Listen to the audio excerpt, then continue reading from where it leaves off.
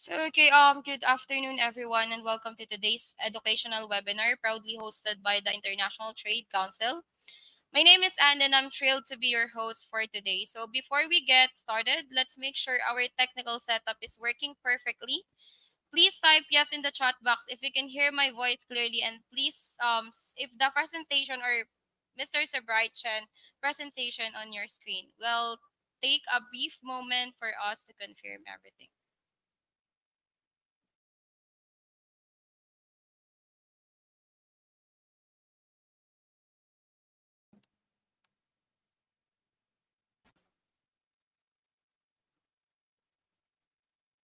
Okay, um, thank you for confirming, everyone. So,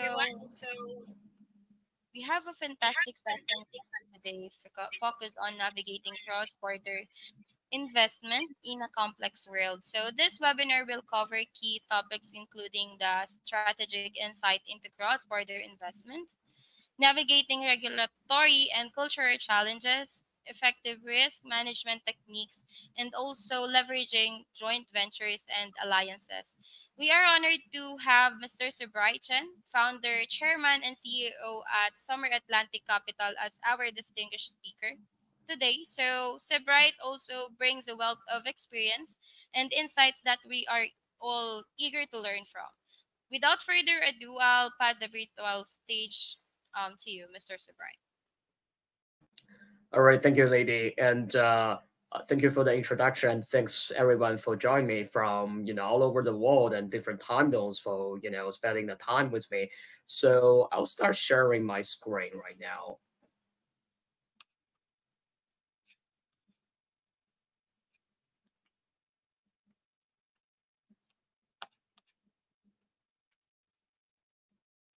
So can anyone hear me well and see my screen?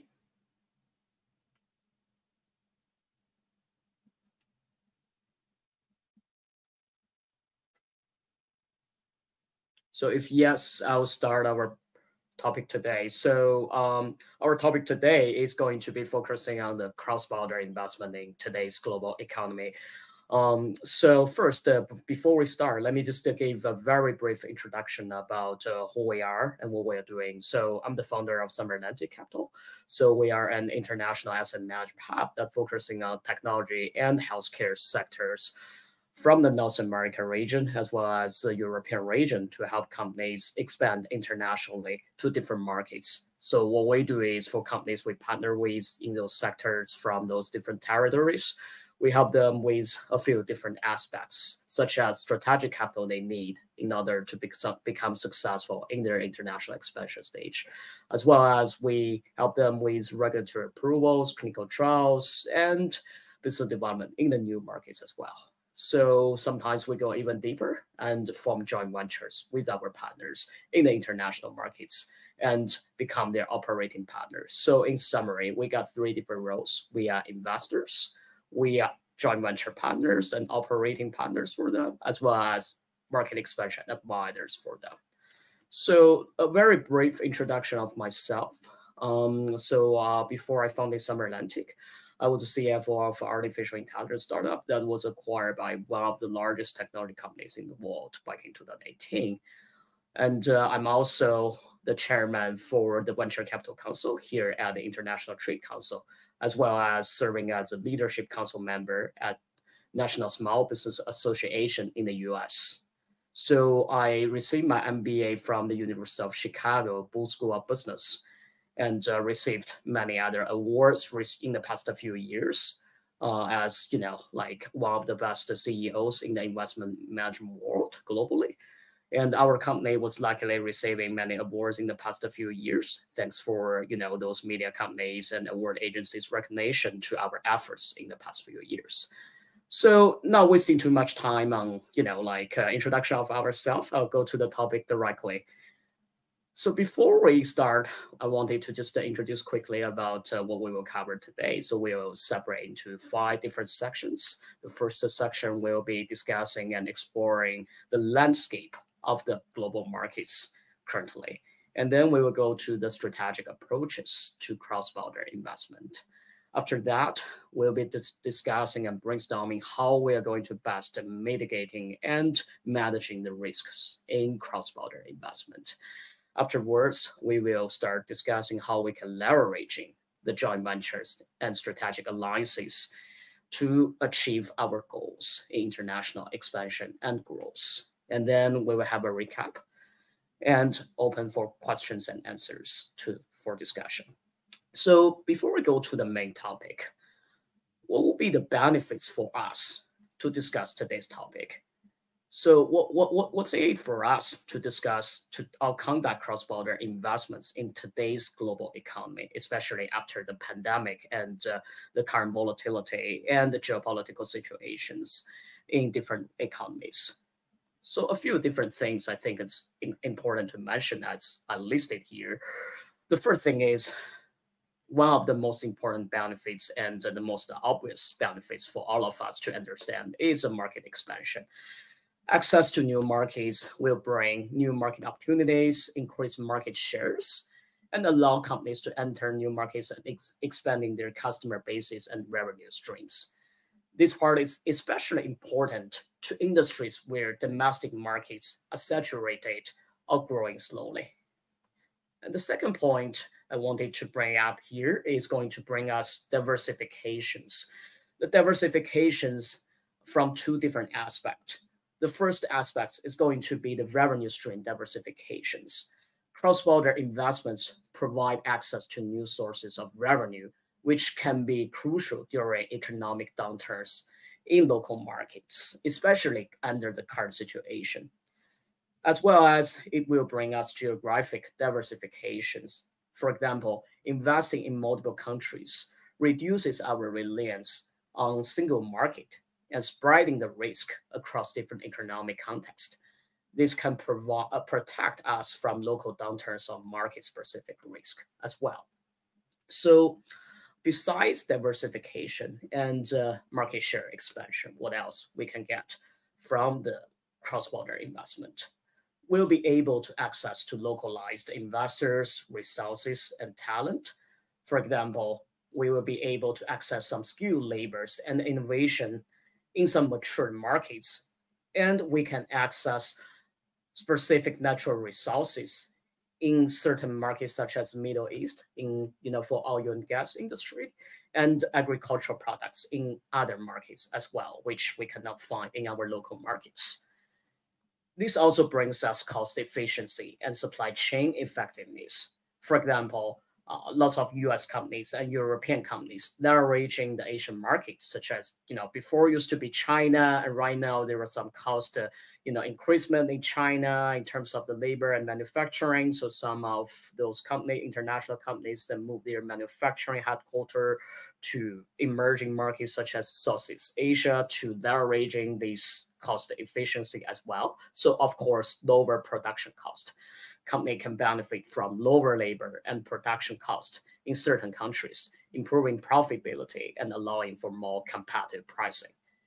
So lower cost not just in the labor and production, but also the tax part as well. Some countries offer favorable tax tax rates to attract foreign investments, such as Singapore and Hong Kong, which you know it's a very favorable market as comparing to uh, certain U.S.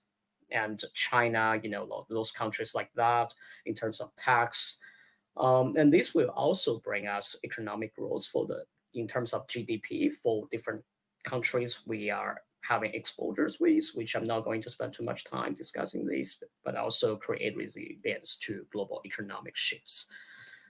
So we will go to the first section today, understanding the landscape. The first thing is going to be the global investment trends. So in terms of the global investment trends, I listed a few different points here emerging market focus, technology innovation, sustainability, ESG, things like that. So uh, for emerging, for the first point I listed here, emerging markets focus, I wanted to point out that uh, emerging market is not a new topic. Investors are always keeping an eye on emerging markets, but the concept of emerging markets are consistently evolving. For example, companies like China used to be emerging markets, but not really considering as 100% emerging markets at this moment. So as so considering of this situation, investors are increasingly targeting emerging market due to their high growth potential. So some of the Southeast Asian countries become the next target. But there is some there are some risk associated with that as well, which we will mention that in later stage during our discussion today, due to you know like expansion always involve risk as well. So for sustainability and ESG, are becoming integral to investment decisions due to lots of governments started to integrating ESG criteria and sustainability criteria in their overall compliance management policies, which means most of the large corporations and mid-sized companies started to penetrating those concepts and policies into part of their corporate governance to be compliant with the government requirements. And uh, reconsidering private equity and venture capital manager selection criteria, this is something very interesting for us to mention because uh, for most of the investors, they used to follow the big names and uh, previous track, track of records rather than the actual people and the and the deals they are currently doing, which which are not really making lots of sense currently. So shall we, following the big names, I'll go with the right people. Right now, in the recent years, considering of the returns of previous private active fund managers, more and more limited partners started to think about we should follow the teams, follow the people, and follow what they are building rather than the big names themselves. So for geopolitical situations, geopolitical tensions, and trade policies in recent years are influencing cross-border investments. Investors are becoming more cautious and strategic about navigating risk associated with international trade conflicts and regulatory changes. In other words, for certain categories and certain geographical locations, some institutional investors used to invest very aggressively, and they started to change to a more localized strategy to find a good local partner before they can do anything due to the current geopolitical situation to avoid one of the system risk. And I will skip the diversification strategies and go to the enhanced um, AML requirements, regulatory and compliance considerations. AML are becoming more and more important in different countries globally due to the recent local re local recessions in certain countries, as well as the SoftBank case, as we all know, and uh, the related corrupt in the banking community in certain countries. So what we learned from the SoftBank case and what about its implications for the banking and investment communities globally. The real issue of SoftBank is quite complicated, but if we want to simplify it and uh, mention a very key point of that is anti-money laundering issue. It's also related to the recent case of Credit Suisse as well.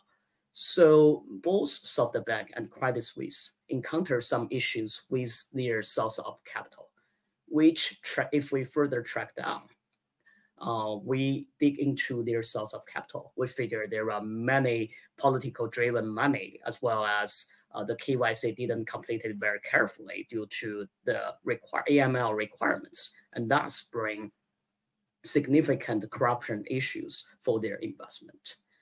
So due to this situation, more and more players and regulated and regulators globally started to executing more strict AML requirements and leverage new fintech financial technology tools to help monitor this process globally. So in the future, the AML requirements as well as technology related to that will be a critical part of the integrated cross uh, cross-border investment. So let's go to the next slide and take a look of the current global investment trends from the data side.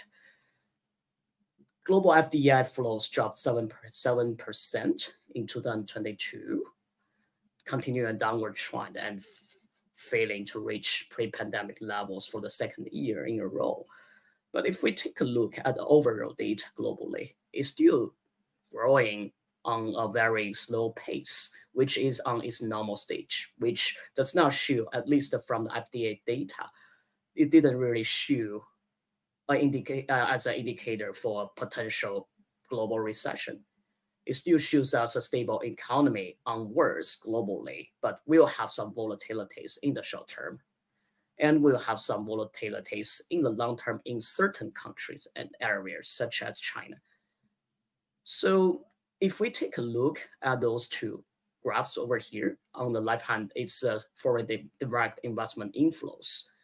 And on the right-hand side is the foreign direct investment outflows. We can find out that US and China are two of the countries in the world that have uh, the most in both uh, FDI inflows and FDI outflows. And in terms of the industries that driving the most FDI, there are four different parts and trends we summarized. The first thing is the transformation of Industry 4.0, which is not something new, but uh, this part is consistently going till we reach this milestone. Deglobalization, localization, and supply chain restructuring will play, uh, will play a very critical role in the next 10 years due to the current geopolitical situation lots of global companies used to have manufacturing outsourced in emerging markets and supply for uh, markets globally. Now, due to the policy restrictions, may need to relocate some of their manufacturing R&D centers in different countries and supply locally to fit and match the new regulatory requirements.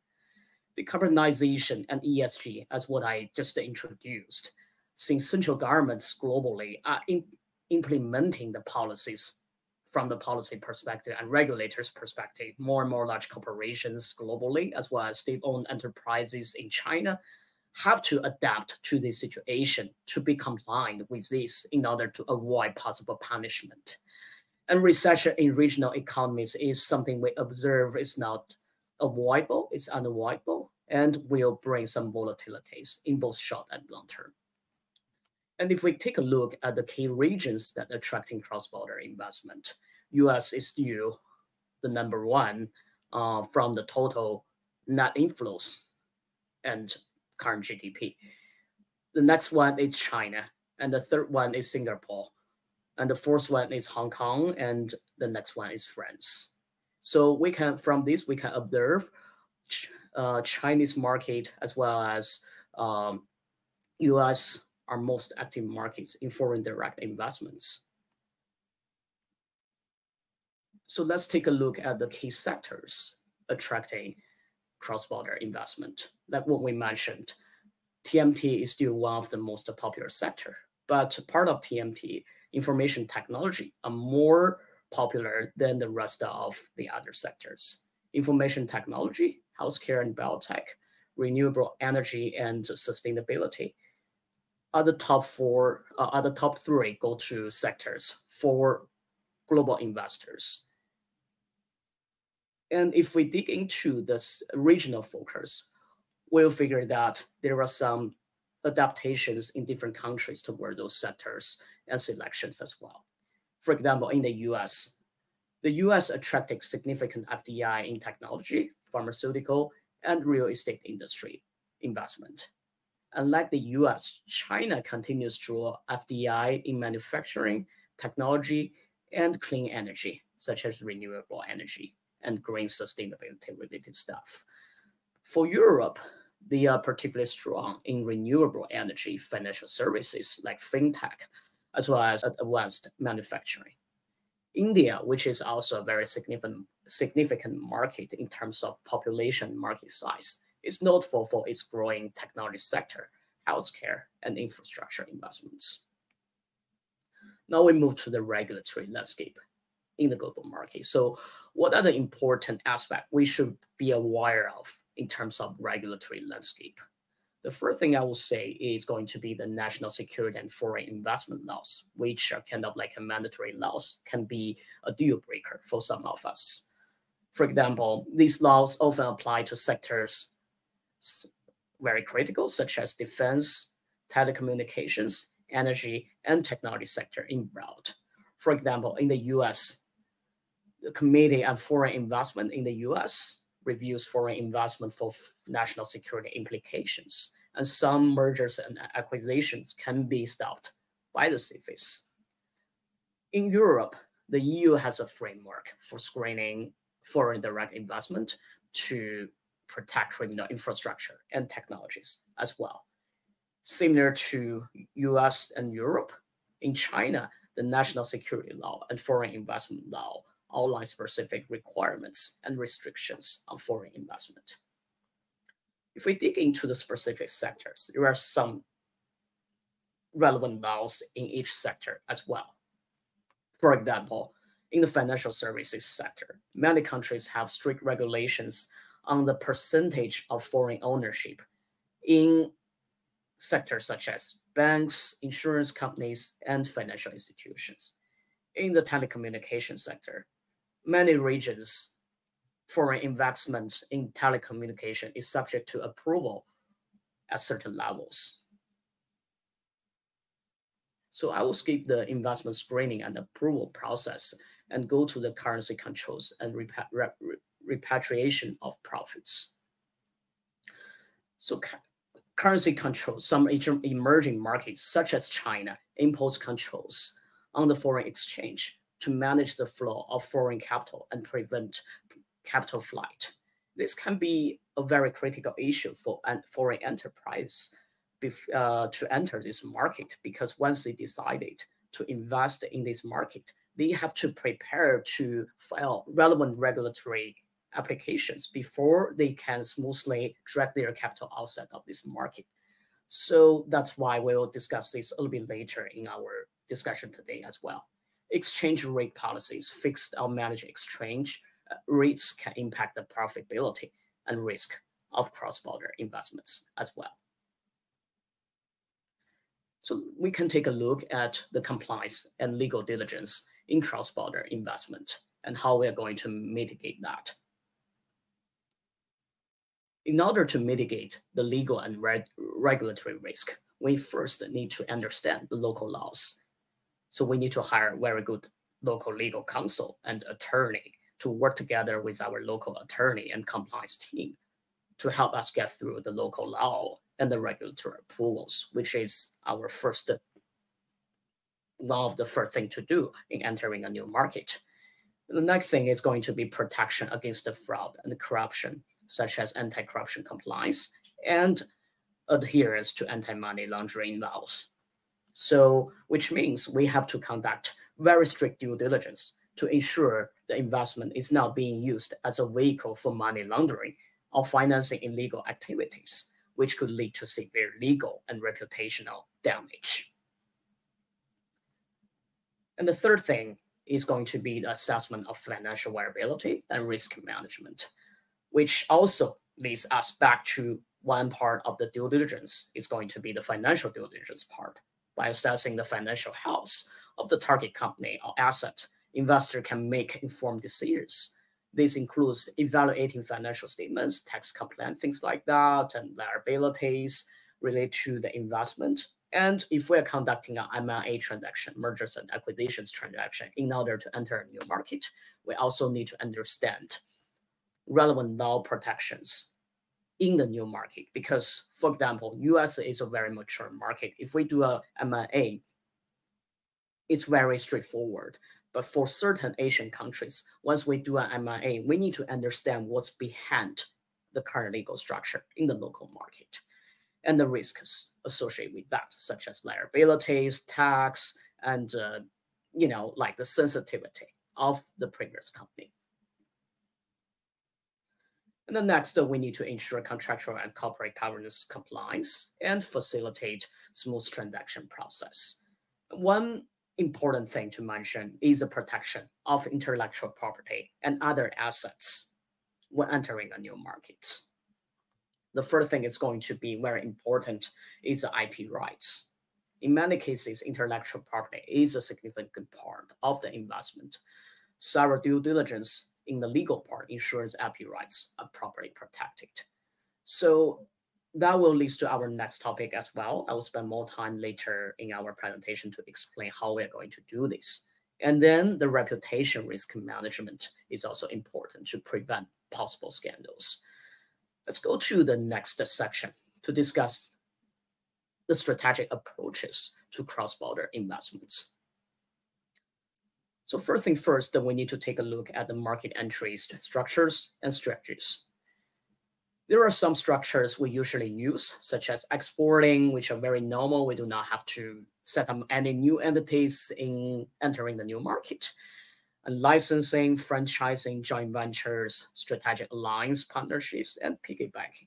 There are also some other ways like what I listed here, wholly owned subsidiaries, mergers and acquisitions, greenfield investment, turnkey projects, contract manufacturing, and outsourcing, which I'm not going to expand too many details here to not spending too much time. So exporting it's like an international trade without setting up a new entity. The advantage is very obvious. No, very low capital investment required, minimal risk and exposure to the foreign markets. And then we will have the flexibility to exit the market easily if we need. But the disadvantage is very obvious as well. First, it, we will have very limited control over marketing and distribution in the new markets. And the tariffs, custom duties, and logistics can increase possible cost associated with that as well. And the currency fluctuation will bring us lots of risk under this situation as well. The next thing is going to be licensing, which are widely used by certain technology companies and the pharmaceutical companies. So advantage with licensing is, of course, low risk and investment. You do not have to, usually you do not have to invest too much money because usually the license licensor will pay you. And it brings you access to local market knowledge and distribution networks. And it also it is also a quick market entry. The disadvantage for licensing structure include limited control over production quality and brand image as well as potential for creating a future competitor and difficult to enforce intellectual property rights. So in the long term, if you're very confident about your assets and your operational capabilities, it's better for you to enter the new market in a joint venture or strategic alliance rather than licensing structure. Franchising is very obvious as well, uh, we, which we will skip that part and go to the joint venture and strategic alliance. So joint venture sometimes is considered as a subcategory as part of the strategic alliance and partnerships. So for joint ventures, it's an equity partnership, equity partnership between two companies or more to form a new company in the new market, in the in the new market to sharing ownership, control, and profits. The advantage of a joint venture in the new market include access to local market knowledge, network, and resources, share risk and investment with a local partner, as well as either compliance with regulations, local regulations, and policies. The disadvantage for joint ventures include potential for conflicts for, you know, like the shareholders uh, in the companies and partners over control and profit sharing, and strategic decisions as well as well as loss of full control over operations and decision making, and cultural and organizational difference could lead to misunderstandings and some conflicts as well, which, you know, conflicts management is going to be a very important thing. And then let's take a look at analyzing the market and how we're going to do is analyze the market and the potential risk. So first thing first, before we decide how we're going to enter a new market, we need to conduct very comprehensive market research to our own preparation. And then after that, we will start the negotiation stage with a potential partner or investor in the new markets. So during that stage, while we are doing the negotiation, we will start either ourselves or with a new partner to conduct the feasibility analysis because at this stage, there are lots of local knowledge we won't understand from our own level, but we need a local partner to provide us insights. So usually I consider this as part of the negotiation stage to do the market exploration. And then after that, after we reach the agreement with a potential partner, we need to plan for the exit strategies from day one before we even set up the strategic alliance exposures or joint venture or different other another partnership structure in the new market or exposure in the new market as well. So we go to the case study part. The first thing I wanted to mention, which everybody knows about Apple. Apple is a very successful case in doing the expansion in the Asian market. And indeed, the Chinese market is consistently becoming one of the largest uh, market for Apple in terms of both revenue and brand reputation. Indeed, right now, Apple's revenue in China counted towards roughly about 20% of its total revenue, which can be found on their annual on their annual 10K. Apple's expansion into China Asia has been a, a significant part of its overall global strategy and contributing to substantial of its revenue. Apple's approach to entering the Chinese market is a hybrid of different structures, including partnerships, supply chain localization, and tailored product offerings. For example, Apple has adapted its product offering to meet the unique needs and preference of the Chinese consumer. The company has introduced the dual SIM capabilities in iPhone specifically for the Chinese consumer, as dual SIM usage is more common in China as compared to other regions. Apple also focused on integrating local services and applications such as WeChat, one of China's leading messenger and payment platform to cater to the local market's digital ecosystem. Besides that, Apple ha also had a very strong retail presence and brand building. It has invested heavily establishing a strong retail presence in China and other parts of Asia. The company opened its first store in China in 2008 and has expanded to over 40 stores till now across major cities. So it used a hybrid strategy to open stores in China. And like in the US, in the US, most of Apple stores are directly owned by the company. In China, Apple tried a very smart way to manage its risk. It has its own Apple Store. It also author, has its authorized retailers in China to sell or redistribute their products to lower operating cost. And unlike in the US, if we are using an iPhone and need to do some, you know, like maintenance and the replacement of the batteries or the screen, we'll go to the Apple Store directly and they will take care of that. In China, they licensed out the after sales services to another listed company in China, which again further lower their operational cost and risk in the Chinese market. So they did very lean. They managed the business model very lean in China, almost like a new startup. They also localized the supply chain to do assembly in China to lower the manufacturing cost and supply chain cost.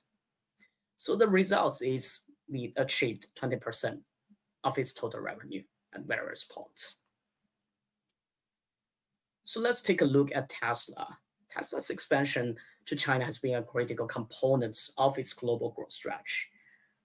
The first thing first, unlike Apple, Tesla built its magic factory in Shanghai a few years ago, and that factory in Shanghai indeed become the supply chain and the manufacturer production center for its global demand due to it has very strong manufacturing cost usually since it's an electric vehicle market. And elon musk recognized china is the largest electric vehicle market in the world. They decided to strategically enter the chinese market to capitalize the growing demand for evs in the market and the results is very obvious. It's a successful story. In 2019, it became the first foreign automaker to wholly own a manufacturing plant in China. And one more interesting story to mention about Tesla is usually for foreign brands like Tesla, they are not allowed for the government people in China to use their vehicle. But since its plant is 100% built in China. They argued to be a made in China product to sell in those garment related entities. And then another very successful story is Starbucks' expansion into the APAC market. Starbucks indeed has been one of the most successful Western brands to expand into the Eastern market. Since opening its first store in Tokyo in 1996, it has rapidly expanded its brand's presence across the region and becoming a dominant player in the coffee retail market. Starbucks first entered the Chinese market in 1999 through a joint venture with a local partner. And then in 2017, since it managed to grow very successfully and uh, they hire a very localized team to manage the market and uh, deal with the regulators relationship, Starbucks decided to acquire the remaining 50% from the local partner to, to become the wholly owned subsidiary under its headquarters. It also has a very localized strategy towards their products and store experience. For example, Starbucks has adapted its product offering to cater to local taste across the different countries in the APAC region. In China, for example, Starbucks introduced products such as green tea flavored beverage and mooncakes during the Mid-Autumn Festival to adapt to the customer traditions here. The company also tailored its store designs and customer experience to reflect local cultures. For example, stores in China featuring traditional Chinese elements, creating a unique blend of Western and Eastern aesthetics. Starbucks is also very adapted to the digital delivery in China and the rest of Asia. For example, it launched the Starbucks Delivers, a delivery service that leverages Alibaba's extensive logistic net network in China to deliver their beverages and other food offerings to their customers who order their coffee online through their application.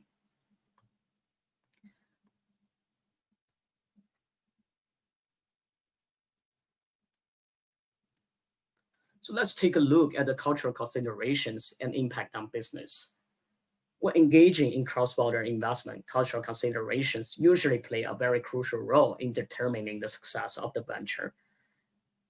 For example, communication styles, direct versus indirect communications. Some cultures, like the US, prefer direct and straightforward communications, and in Germany, it's a similar style. Well, like in some Eastern countries, like Japan and China, may use more indirect methods where complex and nonverbal cues play a significant role. Understanding and adapt to this difference can prevent misinterpret interpretations and misunderstanding. And language barriers also critical because due to the language difference can lead to miscommunication if not properly managed. For example, many people in China and Japan, they can speak English fluently, but their understanding and the way they're expressing in English is different from most of the native English speakers in the US and in the UK. Negotiation tactics are also critical. Negotiation styles differ widely across different cultures. For example, American negotiators may favor quick and decisive deals to not wasting time, while Chinese negotiators might prefer building relationships and taking time to explore personalities and uh, all aspects of the business before reaching an agreement. Importance of relationships, such as in many Asian mid, Middle East cultures, building trust and long-term relationships is often more important than the immediate details of the business deal, which is in the opposite way with Western cultures, where in most of the Western countries, we focus on more like contractual terms and decisive decisions. Thus, we go to the decision-making process due to the cultural difference. We will have the individualism versus collectivism. Well, this also is going to be related to your corporate governance structure as well rather than just the cultural difference, which I'm not going to spend too much time here, and the legal and ethical standard, which are critical for us to understand because for the legal part, the different legal norms based on different legal systems and practice are quite common in one country For example, something might be legal in one country, but will be illegal in another country. So we need to understand the local laws, including those related to corruption, labor, intellectual property, are essential for us to protect our business. Ethical expectations are something a little bit weak to navigate, but will be very critical for us to consider. In some countries, gift giving is common practice in business, while in others, it might be seen as bribery.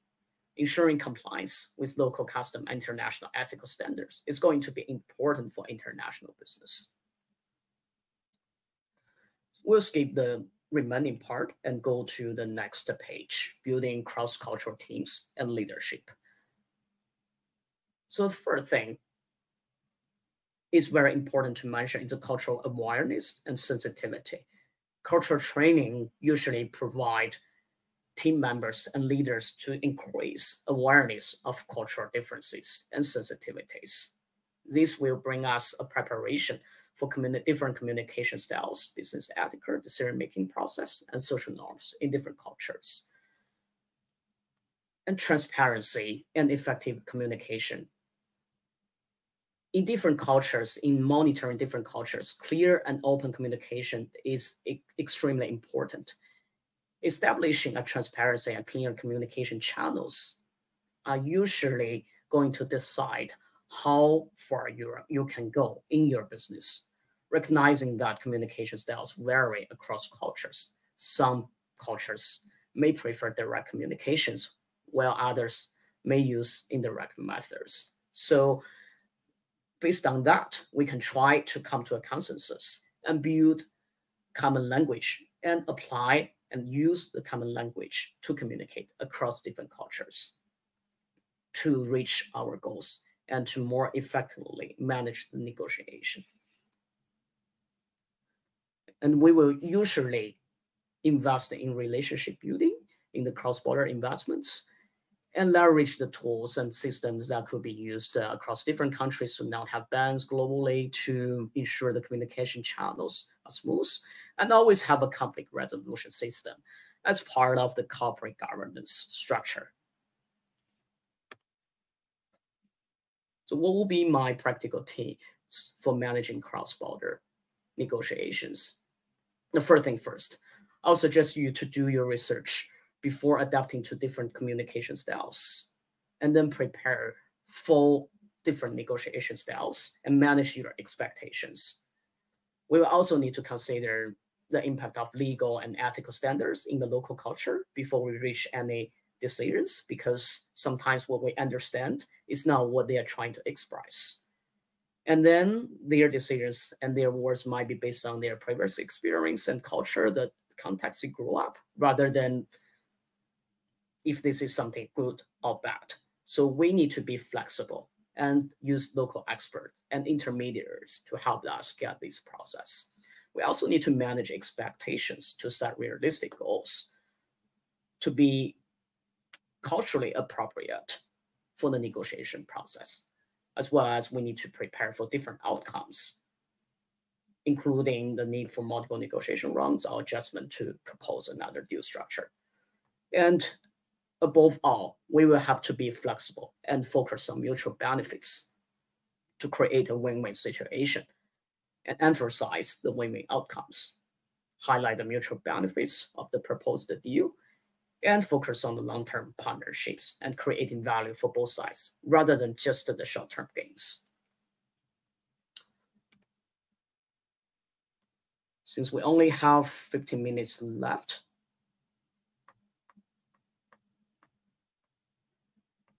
I'll go to the next section directly. So let's discuss as identifying the key risks.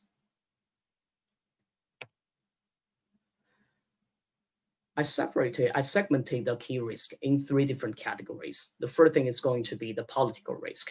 The second part is going to be economic and financial related risk. And the third part is going to be operational risk. Political risk and governance include government's governance stability, corruption levels, and the rule of the law, as well as the regulatory environment, geopolitical risk, And uh, how are we going to identify economic risk first?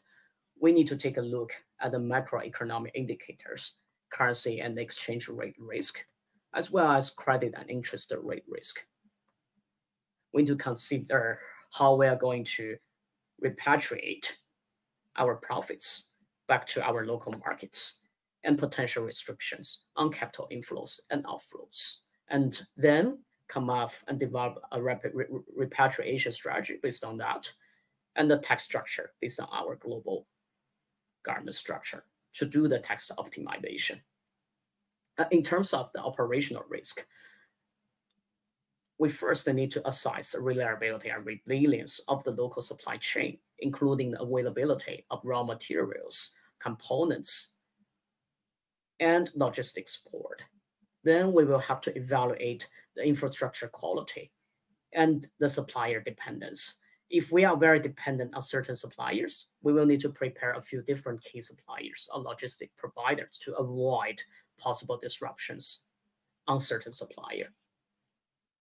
Other risks include reputational risk, which we have to assess at the very beginning to make sure the brand uh, uh, perception, assess how our brand is perceived in the target market before we even enter that, including potential risk related to the cultural missteps or ethical controversies.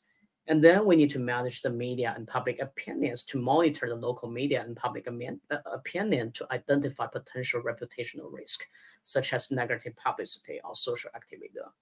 And then we have to do a proactive reputation management strategy and engage in proactive reputation management by communicating our company's values, ethics, and communicate commitment to the local community. So how are we going to develop a risk mitigation strategies?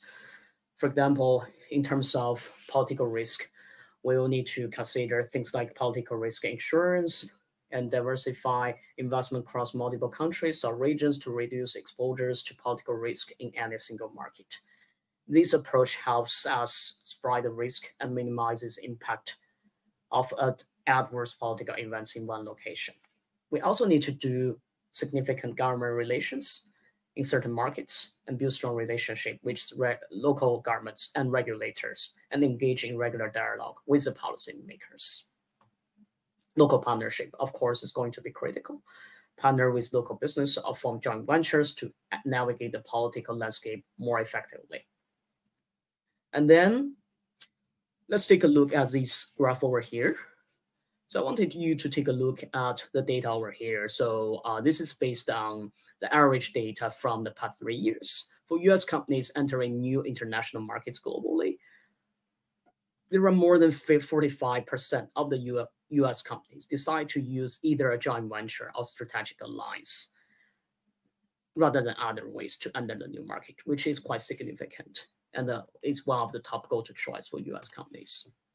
Similar to the US companies, for European companies entering the new market, the, the data is even higher, roughly about more than 50% of the European companies in total across all different sectors using strategic alliance or joint ventures in entering new market.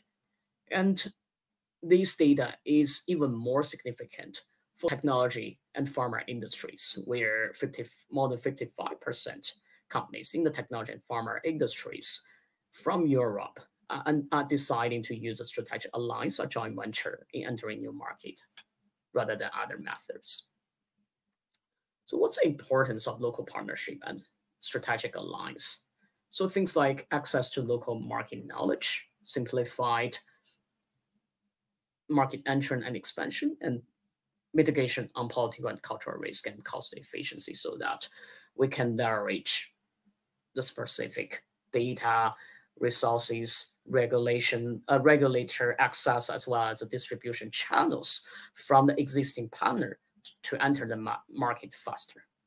We will have a localized team there to manage the potential risk and get us through the process as well. So what will be the importance of transparency and accountability? First, it gave us the opportunity to build trust with stakeholders ensuring compliance with local and international regulations, mitigating financial and operational, uh, operational risk, and facilitating better and effective decision making. I'll skip this slide to go to the next section. So what will be the benefits of joint ventures and strategic alliance? So for joint ventures, since we have a local partner joined our business entity in the new market, we'll have the share risk and resources to share with both parties. And then it's a more formalized structure as well. A joint venture is a separate legal entity with a clear organizational structure so that we can apply a very clear and manage the corporate governance structure into the new business entity. This could provide clarity in roles, responsibilities, and governance. This structure often leads to a more stable and long-term commitments from both parties and give us local market penetration and enhance the control and alignment. Joint ventures are typically formed with a long-term perspective rather than a short-term perspective, focusing on more sustained collaboration and growth. And this long-term focus can lead to deeper integration and more substantial market impact over time. So what will be the benefits of the strategic alliance? I mean, strategic alliance is quite similar to joint venture, and sometimes joint venture is part of strategic alliance. But if it's you're, you're building a strategic alliance without active participation, it gives us flexibility rather than joint ventures.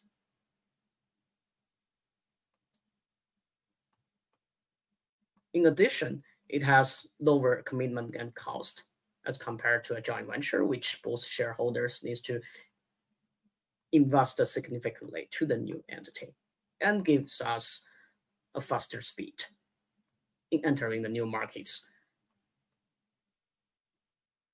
It also gives us risk mitigation similar to the joint venture, and it gives us a flexibility to focus on our core competencies. These could lead to potentially more effective and efficient operations, especially in areas like supply chain management or technology development. What will be the key elements of a successful joint venture? So first thing first I want to mention is going to be identifying and engaging the right partner, which is quite critical because the success of joint venture largely depends on choosing the right partner.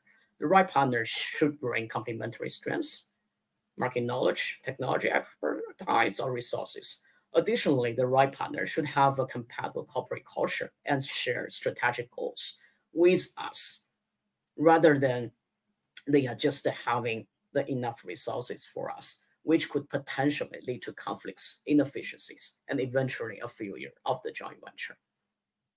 After that, after we have the right partner, we need to choose the most feasible partnership structure. Either it's going to be a licensing structure or a strategic alliance or more deep like a joint venture structure it's going to be based on our overall market feasibility, and we will figure out the right structure to go. And then we'll set localized strategic objectives based on comprehensive market feasibility analysis and robust legal and governance framework.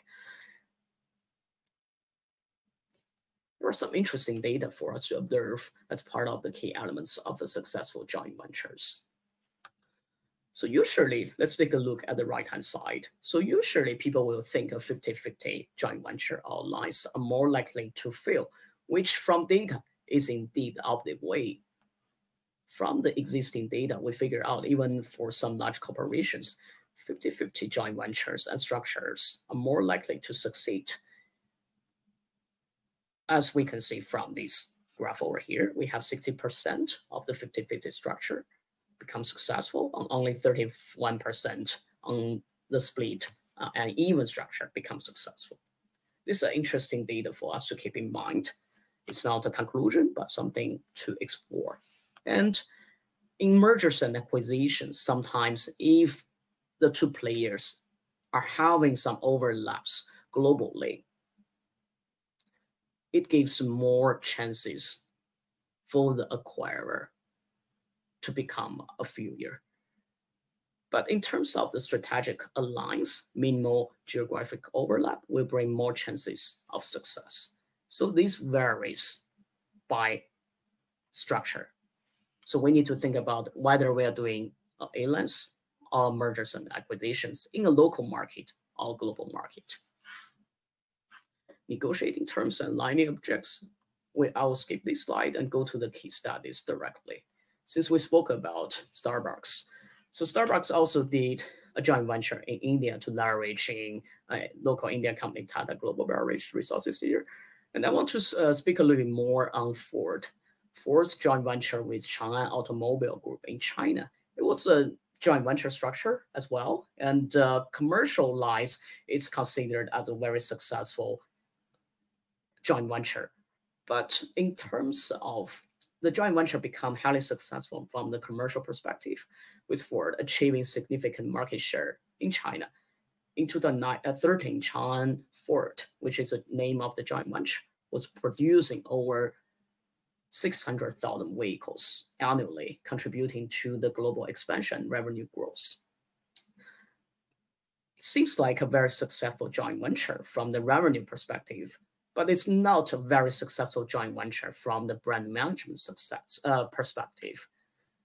Indeed, Chang'an's brand is a large manufacturing company in China, but it's not a very highly reputed brand in terms of you know uh, like for family use the cars and mid and high end cars. It is usually conceptual as low end cars. Thus, this brings some brand damage to Ford in China, which most people didn't really know. And when people are starting to shop or upgrade their cars, they will skip Chang'an Ford and go to another brand. So that was something interesting for us to consider when we're doing the market feasibility analysis. That's the importance of bringing up a local partner, a trusted partner in China to do the market feasibility for us and become the operating partner for us before we even decide to do the huge investment with another Chinese partner or a partner in other countries as well. BP British Petroleum is also a joint venture structure and a strategic alliance with Reliance Industries Limited in entering the new market. Uh, unlike the other key study we just mentioned for General Mills and uh, Nestle, they enter into both a strategic alliance and joint venture in developing the global markets rather than a certain local market. Since we only have three minutes left, I'll skip the details and open for questions any audiences may have. And uh, before we go to this stage, I just want to give a very quick summarization of what we covered today. So the main points in cross-border investment is it's not something we can cover the full picture in this one-hour webinar. And if we want to use one minute to summarize, the first thing is going to be a strategic planning process, which we have to do our own research and work with our local partner to come up with the very comprehensive market feasibility and due diligence. And then we go to the local partnerships to build strong local partnerships with the right local partner to navigate us through the process and bring invaluable assets in market trends and regulatory landscapes. And then after we form the structure with the local partner, we go to the corporate governance structure and launch the project and process management, risk management strategies based on the right corporate governance structure to sustain our ongoing success in the international markets. So that's the end of our webinar today. I want to go back to Lady and uh, to see if any questions our audiences may have. Yeah. Um, okay, um, thank you so much um, to you, Sebright, for that insightful presentation. Now it's time for your question. Please type them into the Q&A tab or at the chat box, and I'll select a few for Mr. Sebright to address it live.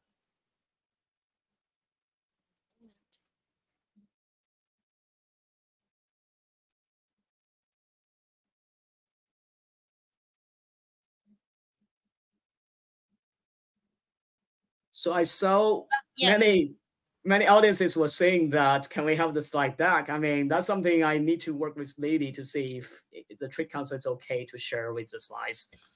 Yes, actually, um, It's okay. Uh, we wanted to ask your permission as well if we can share this one since we also asked for your presentation or PowerPoint presentation, correct? Right. Uh, so I will have my team share a shareable version to you so that you can share with the audiences. Is that okay? Sure. Okay. Mm-hmm. Um, I saw a questions here from Mr. Jonathan Poppy. So the question is, what specific hurdles are there on the regulatory side as we do filings in the US? Well, that's a very well, that's a very good question. I mean, I mean, John, thanks for that. But you know, one thing is we, we need to figure out which sector what you're referring to, right?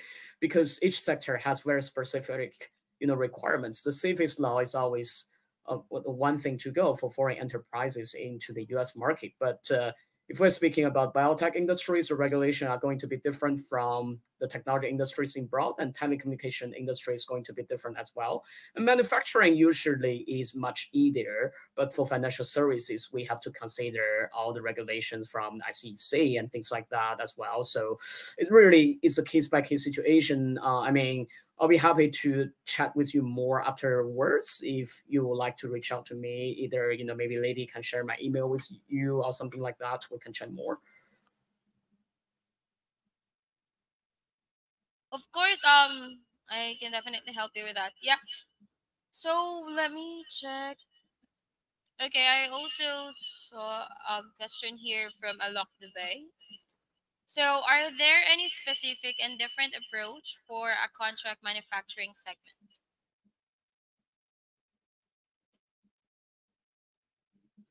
So in terms of contract manufacturing, um, well, first, uh, which country were you referring to, right?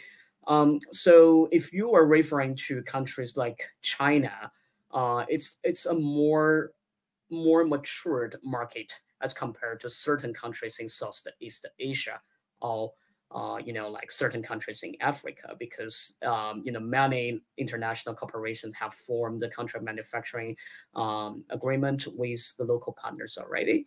So you know, for example, uh, I, I don't know which industry you are again, you know, so I just give you a random example. So if you are a biotech company or medical device company and trying to hire manufacturing company here. Usually there are CDMO companies here you can hire. It's not just in China, but global companies as well. But uh, you have to be very careful in selecting those companies because some of this, the manufacturing partners, if they are not reputable enough, they can just uh, take your intellectual properties and copy your device and make another local version. So uh, I saw you start uh, manufacturing engineering. Is that hardware? Also, uh, you know, like uh, what, what type of products were you referring to?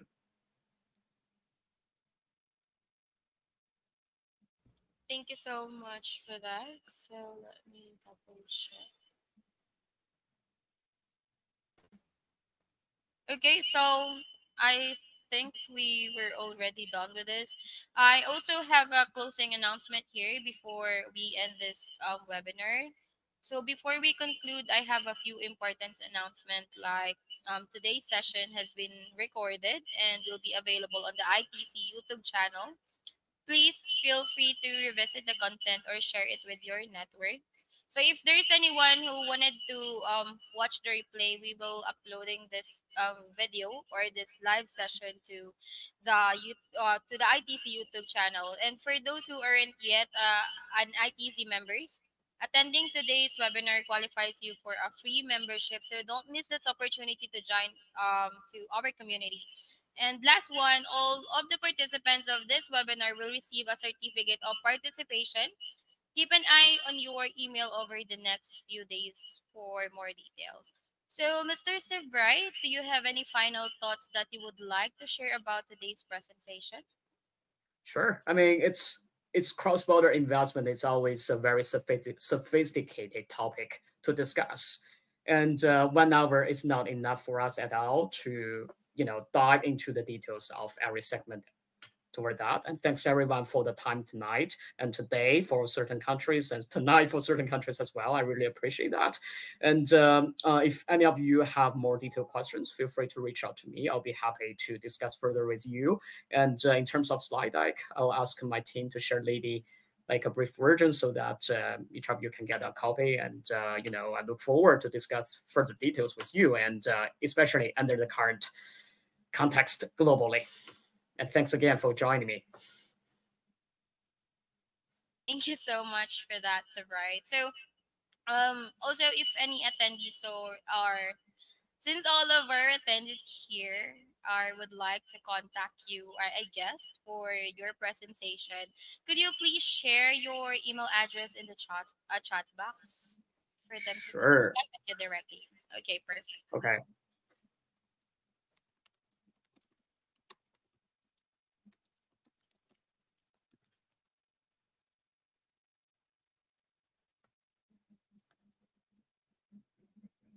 So I just uh, share my email address. It's uh, very simple. It's sebright.chen at summeratlantic.com. Okay, perfect. So I wanted to remind everyone that um, the email address of Mr. Sebright are already posted here as well, or um, it's already on the screen right now. And for everyone that I was here, it's already on the chat box. I will share my email address as well for um, those anyone who are not yet a member of the ITC. You can contact me directly or leave a message to my email address. So again, um, thank you everyone. So as we wrap up for today's session, and I encourage everyone to apply the key insights um, that we've discussed to your own companies or industries. Focus on strategic cross-border investments to unlock new growth opportunities and ensure strong regulatory and cultural navigation and enhance your risk management practices. Consider um, leveraging joint ventures to expand your market presence. Also, remember the real value comes from implementing these strategies in your day to day operations and long term plans. So, before we go, please note that also that again, the webinar is available on the ITC YouTube channel, and for all of the participants, will receive a certificate of participation via email on the upcoming day. So we appreciate again your active participation and we're here to support you as you put this insight into action. Thank you and we look forward to seeing you at the future webinars. Thank you so much, Mr. Sebright. Have a good one here. Thank you, lady. Thanks, Al. Thanks. All right, bye. Thank you. Bye.